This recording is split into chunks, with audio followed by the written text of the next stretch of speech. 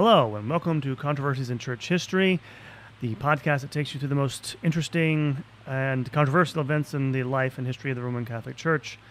Welcome once again. My name is Derek Taylor, your host for the podcast. Thank you for joining me.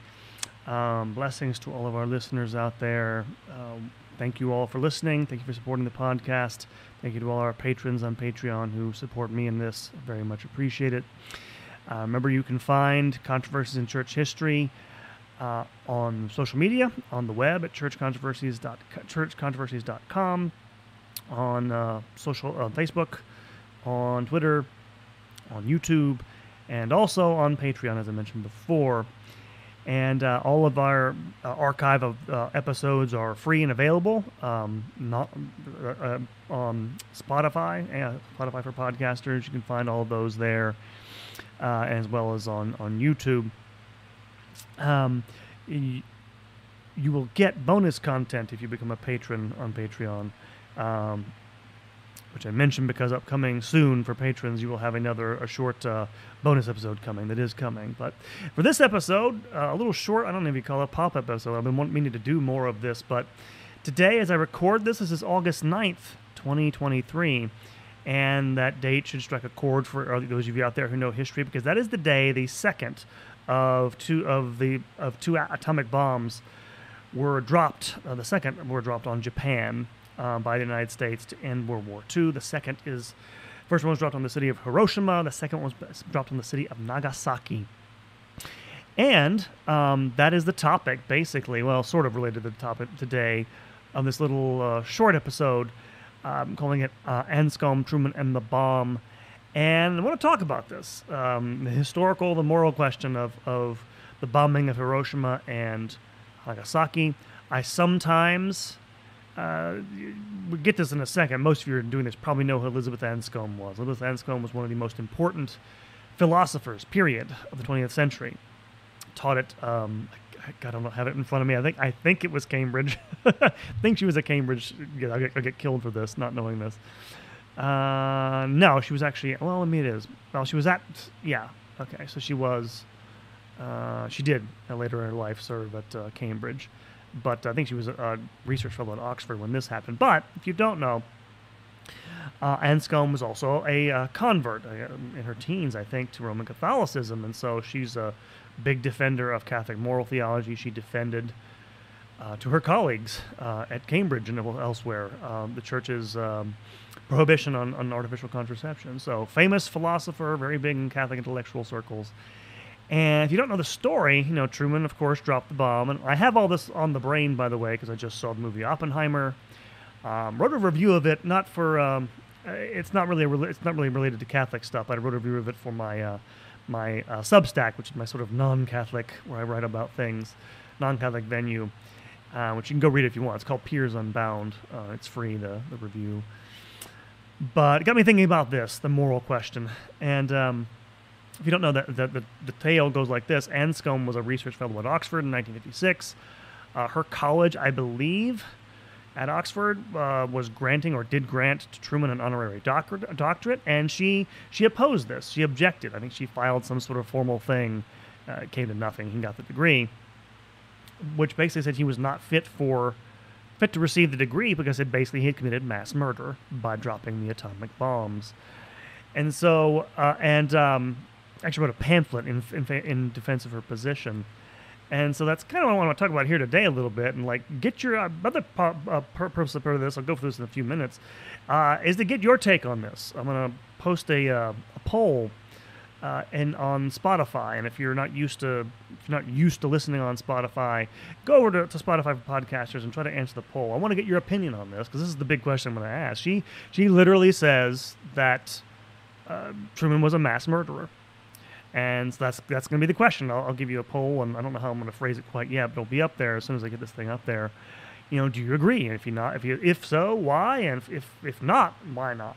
Uh, what was he if he wasn't a mass murderer? Just to go through this real quickly, it's not a it's not a big, you know, uh, again, most of it. I'm assuming there are a lot of Catholics who who think she was right. And by the way, I generally think that the bombing of Hiroshima and, and uh, Nagasaki was intrinsically evil. That's the basic idea. It's always wrong to intentionally murder innocent people.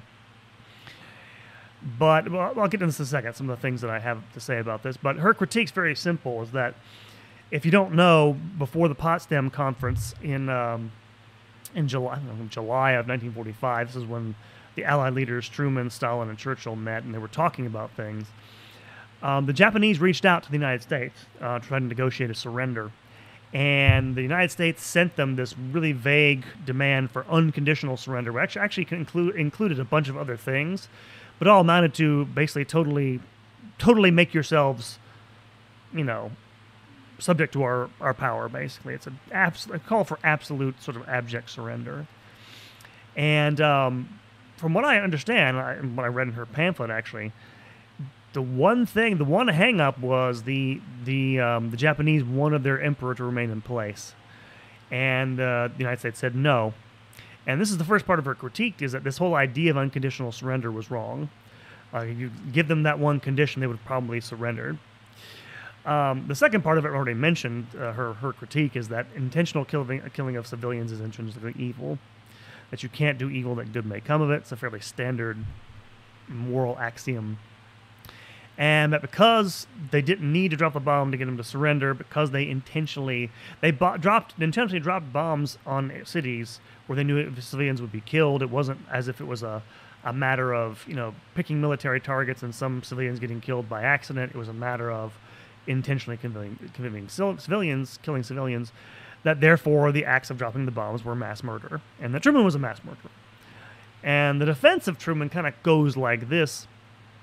Um, the first thing is people dispute is well the Japanese were not going to surrender, that they've um, that they were you know fanatics, that they were you know whatever, and they would not surrender. Um, those sorts of things. This has been this is by the way I don't know the historical you know, backdrop to this, my understanding is this has been disputed that uh, the United States was kind of overdoing how fanatic they might be. But that's one of the, one of the considerations. They, they simply wouldn't surrender. The reply to that, by the way, from people like Anscombe is, well, they would have surrendered if you hadn't made the demand for unconditional surrender. Uh, second part of the defense basically goes, this is usually the one people most bring up, is that the bomb saved lives. That is to say, an actual invasion, military invasion, of the Japanese islands would have been much more costly in terms of lives than the bombs dropped, and therefore it was necessary for that for that reason. And so the basic conclusion of this is that it was necessary, that it was morally necessary, or sometimes you'll hear people say it was the lesser of two evils, and I guess you could put it that way. And that's the defense of Truman in the United States.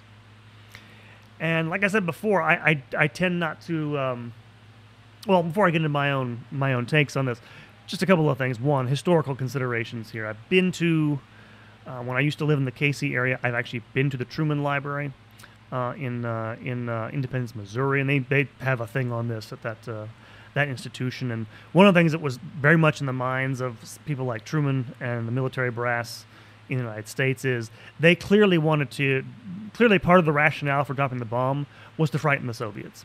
Um, they wanted them to know not only that they had the bomb, but they were willing to use it.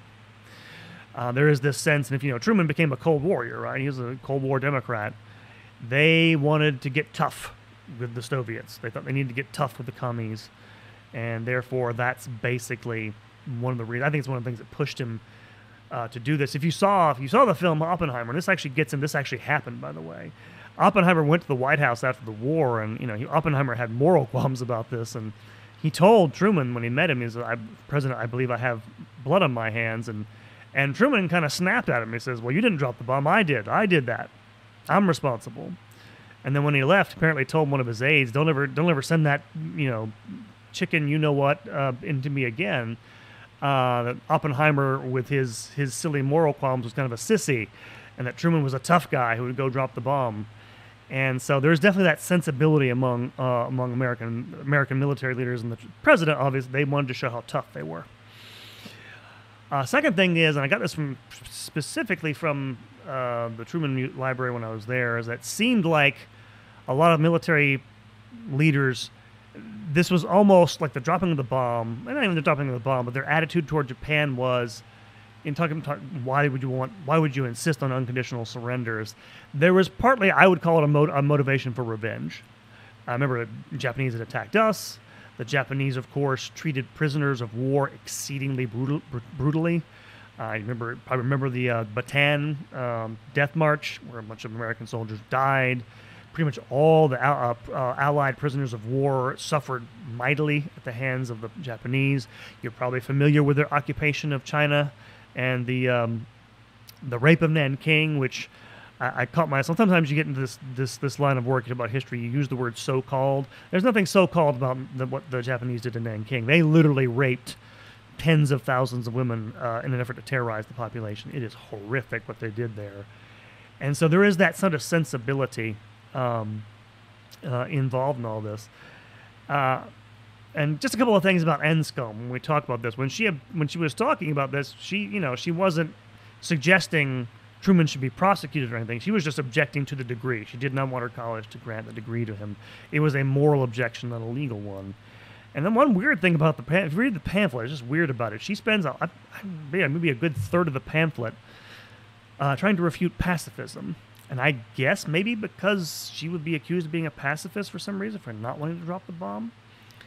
Uh, which is an interesting aside, you know, about this whole debate is that I, I don't know, it's kind of interesting. Well, anyway, um, a few things before I, I, let you go, and you can go, you know, fill out the uh, fill out the uh, the poll, take the poll or not. But a couple of considerations, my takes.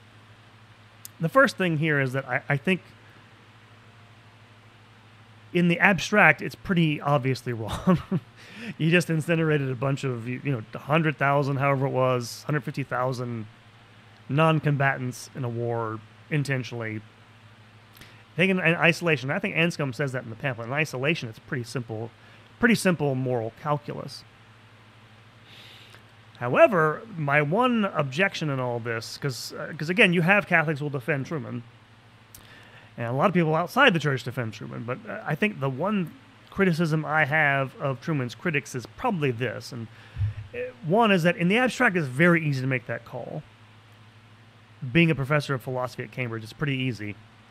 However, being head of the United States Armed Forces, being a general, being the president, having gone through, you know, what four years of brutal war, five years of brutal war against the Japanese.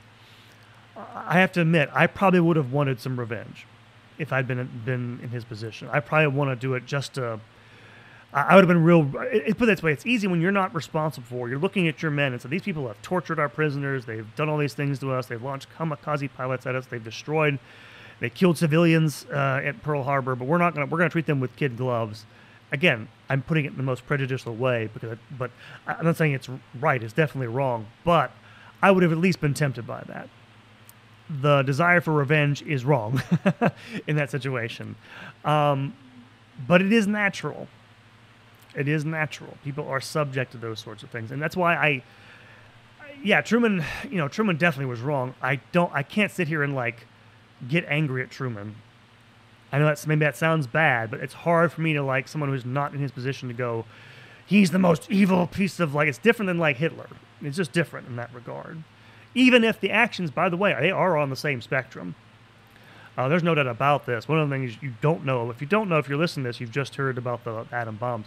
Both the United States and the British had bombed civilians intentionally before. The United States had firebombed Tokyo, killed killed almost as many civilians as the the, the H bombs, the, the atom bombs did and of course the the uh, the uh, British uh, you know mur- uh, you know bombed a bunch of civilians in the city of Dresden during World War II. So it already done some of this. Again, two wrongs don't make a right, but it's already they'd already sort of crossed that line in a lot of ways. And so that's that's kind of where I'm at with this. I'm not I'm not totally sure about that. Maybe I should hate him. I don't know. I don't know. And um, I guess the thing that that's kind of the thing I struggle with. I, I just think it'd be hard in that situation to be totally detached in the way that Anscombe could afford to be in her uh, in her critique of Truman. And it's kind of a weird thing otherwise too. As I guess the question, well, I, I think I want to phrase the poll question is: Do you th- really think Truman was a mass murderer? Because I've thought about this for a long time, and I've also thought about in more recent times. You know, take George W. Bush. Started a war on, I think, what we can all, anyone can agree at this point, we're on false pretenses you know, there was there were no weapons of mass destruction. Started a war which led to the deaths of hundreds of thousands of people, for which I think he's responsible. Does that make him a mass murderer? Again, maybe not as direct as Truman with the ordering of the, the, the, the atom bombs, but still, pretty direct. His, his decision, his willful command that, that, that made that happen. And I, I, again, this is this is more this is the quandary I'm having because I, I, you know, that's the thing about this is that I don't think George W. Bush is really that bad of a. I voted for the SOB twice, could not stomach uh, his opponents, but this is the thing. It's hard maybe for us to to fathom. We like Hitler because he makes sense as a, a villain. He's an awful person. He does awful things. You know, a decent person can do awful things. We know that in the abstract, but you know, to think can can an otherwise decent person who Truman seems like I don't really like Truman that much in any case, but it, it doesn't seem like Hitler still do Hitler-like things. Because when Anscombe says he's a mass murderer, that's kind of what she's saying. And maybe it's just a consequence of the sort of power we've accrued as human beings to destroy that has led us to this point. It's kind of hard to think of it, you know, an ordinary person, a decent person, being a mass murderer.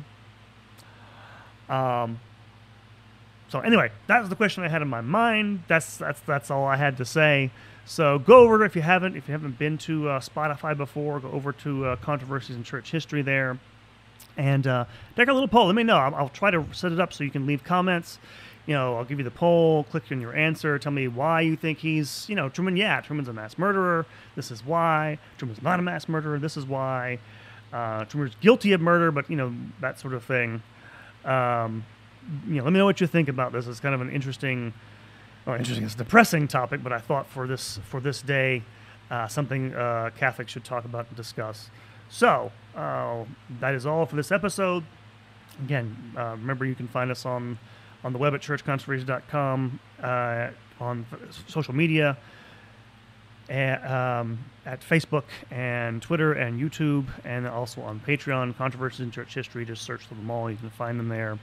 If you would like to become a patron, you can. I think it's five, seven, ten dollars a month. You'll get some bonus material, which is coming. there, there's bonus material coming uh, uh, in terms of bonus episodes, and I am beginning to reach out to potential interviewees. There will be interviews. There will be video stuff, hopefully, for our Patreon folks as well. Get some of that stuff done for you. So we are beginning to move forward with the podcast. Hopefully, reach out to you guys more and start interacting more. Uh, any case, uh, hope you guys enjoyed it. Hope you guys uh, have some fun discussing it. Take care. Uh, blessings to you all, and uh, hear from you soon. God bless.